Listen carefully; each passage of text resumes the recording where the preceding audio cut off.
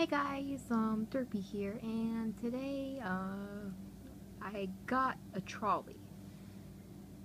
Um, if you watch my previous videos, I've previously shown my train loop along with a CSX train running on it. And I never run this before, so I'm going to do a run test, a proper way. With a Z-Rail in the back background, of course. Okay, so... I think it would be appropriate to place it here because I'm too lazy to put it on track. There's a little difficulty putting it there.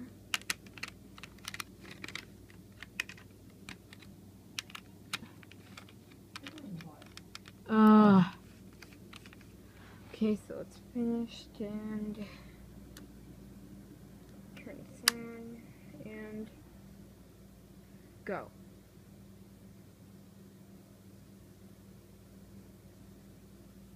On I don't think it's this right.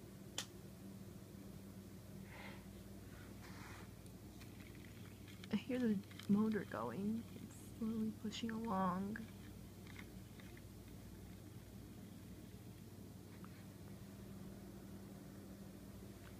Hmm. So I'm running it at full speed and this is how it runs. I mean it runs fine. It's actually picking up speed. Mm. Trying to smell like actual train thing running. And it looks like it's picking up speed. Hmm. Uh, it definitely runs faster than that CSX I put in the other video. You can see I got it from like a sale because of the dent. And I also have this, which is not featured in any other previous videos. It's a Santa Fe tank engine. It's kind of cute. Mm. It sure does run fast. I'm actually kind of scared what would happen if I actually put this on the track. Like, like running it against this thing. And it died. Yay. Will it work this way? Mm. Go, train! Go! Run away from the trolley, I guess. I mean, it's cute and all, but stop running. Don't chase your dreams. I mean, you could always pursue your dreams, but... Hey! Why am I in the middle of here? Why haven't I talked for a while yet? That's because of you, really, you're stupid. Oh, and it looks like that, that thing is catching up again. And it's on there. It's on fast.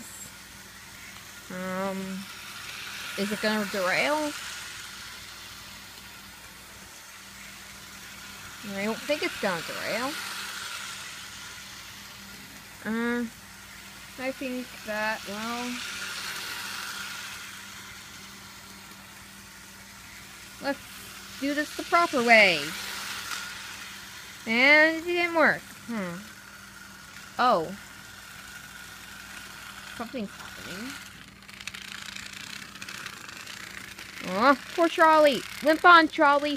Make. I wonder if you can make it. Go on, Trolley. You're a great train. I mean, I think you're a great train. And...